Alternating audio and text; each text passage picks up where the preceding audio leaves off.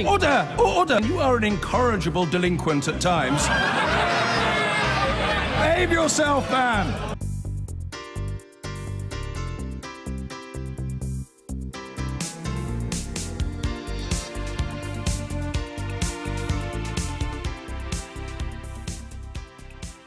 We're going to return to one of our uh, two top stories. Uh, we've been talking about the NHS. We've also been talking about the EU uh, withdrawal bill, uh, which is back in the Lords later today. We can go over to Central Lobby in the Houses of Parliament and talk to the Conservative peer, Patience Wheatcroft. Thank you uh, for joining us, um, Patience.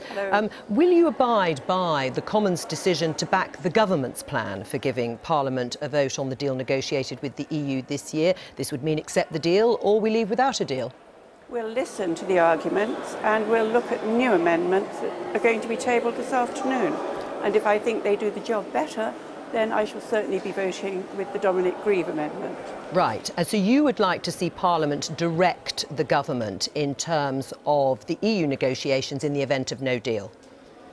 I certainly don't want us to have a no deal or that's it, we leave without a deal scenario.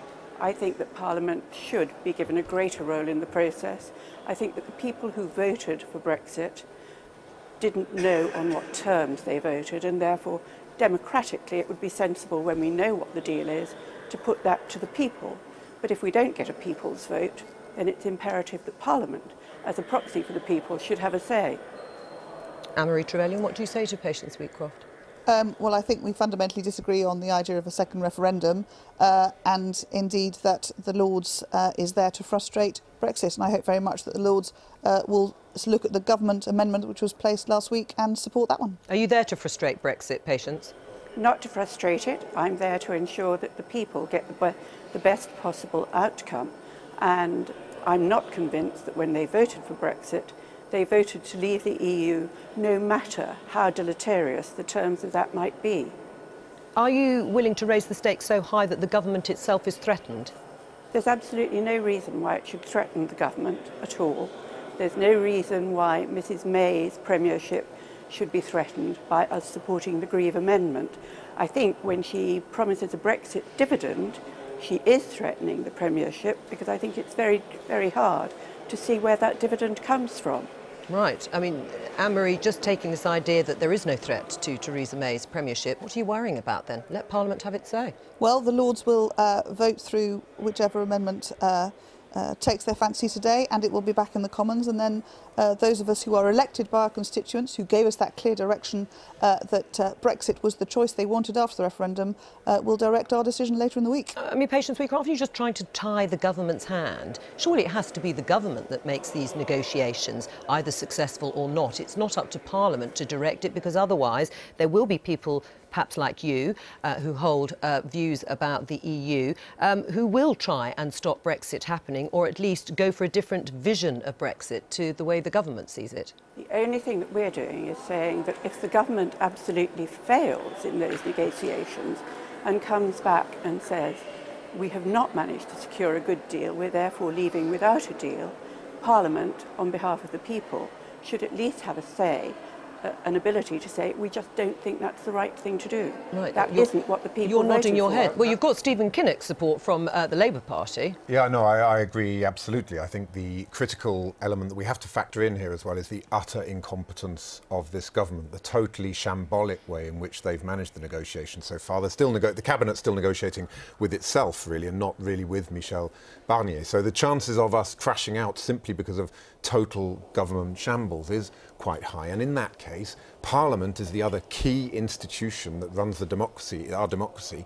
It has to act in the national interest and be ready to step in. But it's only in the case where there is no deal. And that's absolutely clear and simple in my view. And it's not about frustrating Brexit, it's about what do we do if this shambles really does hit a dead end and we're left with no choice but to instruct the government to do something different. Patience, do you think there's still trust among colleagues in the Conservative Party? I think trust is, is not as prevalent as one might hope, but I do think that this is an issue that's bigger than party. Stephen's absolutely right. This is about the country. And I think I trust my colleagues to put country before party. Which colleagues do you trust to put country before party? some of my Conservative colleagues. Right. Do you trust the government? I think the government's in a very difficult position at the moment, and Mrs May is trying to keep her party together. It may be, as it has been for the last 40 years, that there are some people on the far right of the party who she just has to say goodbye to. Anyone in mind? Oh, I think you know the, the main culprits. Um, I think that the European Reform, Reform Group has a very clear agenda, which is to take Britain out of the EU, come what may. And I don't believe that that's putting. Right. I mean, I mean the, the re referendum result is to take the UK obviously out of the EU. Um, but not at any cost. Right. The Lords has inflicted another heavy defeat on the government's Brexit bill. Peers voted 354 to 235 for an amendment to the bill giving MPs a, quote, meaningful vote on the final Brexit deal. This issue will now be debated back in the Commons on Wednesday, and the outgoing president of the business lobby group, the CBI, has given a gloomy assessment of the UK's future, saying he's certain the country will be worse off after Brexit. The only question is by how much? Our business editor, Siobhan Kennedy, joins me now. Siobhan. Well, the CBI, John, as you know, represents the majority of Britain's businesses. Their president, Paul Drechsler, steps down tomorrow. Now, he's an upbeat Irishman, but uh, today there was very little to take that was positive from his message. Um, on every measure today, he was very negative about what's going to happen to the economy. Politicians, he said, were in turmoil. He said that the ports potentially would see food shortages, and the economy, he said, whatever the outcome, would be worse off. Now, he said businesses, in fact, knew no more about Brexit today than they did three years ago. So I sat down with him today and I started by asking him whether he believed this Brexit dividend that Theresa May spoke about for the NHS was real. Here's what he had to say. I think there's clearly a big question about how it's going to be funded. Uh, all the analysis that I've seen would suggest there's not a dividend to come from Brexit. But since we still haven't got an agreed trade deal and we still haven't got an impact assessment, nobody could know whether there's a dividend or not. So you're saying that's fake news?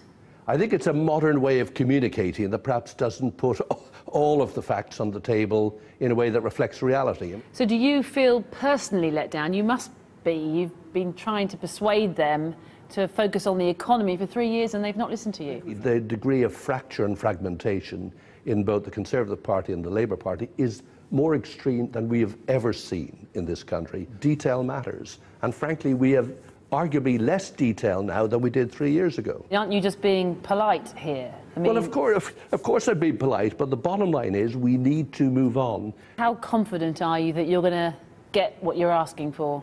I think there is still a very high level of risk, a very high level of uncertainty, and there is still the concern that we won't be able to find a way forward between the UK and Europe. We depend on just in time manufacturing.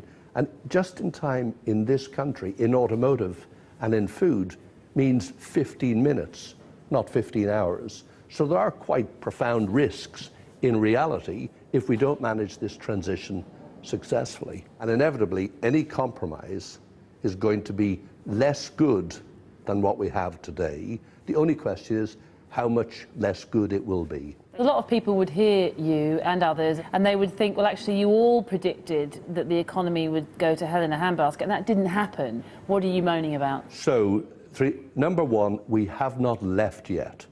We haven't even defined what life post Brexit is going to be, so we shouldn't expect extreme reaction, number one. Number two, we're already growing at less than half the rate of all the other countries in the world. One and a half or two percent slower GDP is very significant. So the serious stuff is already happening. The consequences will take longer to be felt. At the end of your term, are you more or less optimistic than you were when you started? I'm much more optimistic about what individual businesses in this country can and will achieve. They will be hugely successful. They just might make more opportunity outside of the UK than they would otherwise what you seem to be saying is whatever the outcome, Siobhan, we are going to be worse off. I think is that your final message as you leave the well, CBI? I don't think that for all that I've seen so far, I cannot see an outcome that is going to make this country richer. But that's a terrible admission for you standing the, down. Does that mean that you sorry, failed? that's the choice. But that's the choice people have made. People have made a choice about what they want in political terms. That's got a consequence. Paul Drechsler speaking to Siobhan earlier. Now, we should have got used to it by now. The House of Lords handing another Brexit defeat to the government. But tonight, over giving MPs a meaningful vote at the business end of the Brexit talks could be, well, more meaningful than most. Our political editor, Faisal Islam, is at Westminster for us. So, Faisal, this goes back to MPs now, doesn't it? So, how likely is a defeat then for Theresa May?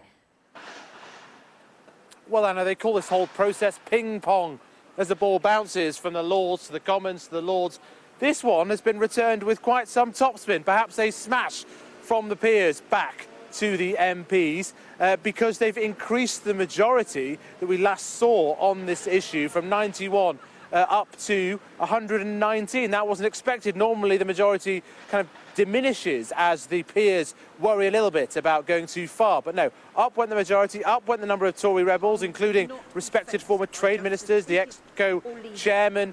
Uh, and so this matters. Why? Because it shows that perhaps some of the shenanigans at the end of last week, when promises were given, some of them personal from the Prime Minister to MP rebels on her own side, weren't actually delivered on. And so what you had today, reflecting that lack of trust, was Lord uh, Viscount Hailsham, the Douglas Hogg, the former Tory cabinet minister. You had he putting down a motion which essentially, an amendment which essentially encapsulated that deal uh, that Douglas, uh, that uh, Dominic Grieve says was reneged on. So that is now down on the bill and will be voted on on Wednesday in the Commons. Are there enough rebels? You'd think at this stage there aren't, in particular because there are five Labour MPs uh, rebelling against their side too.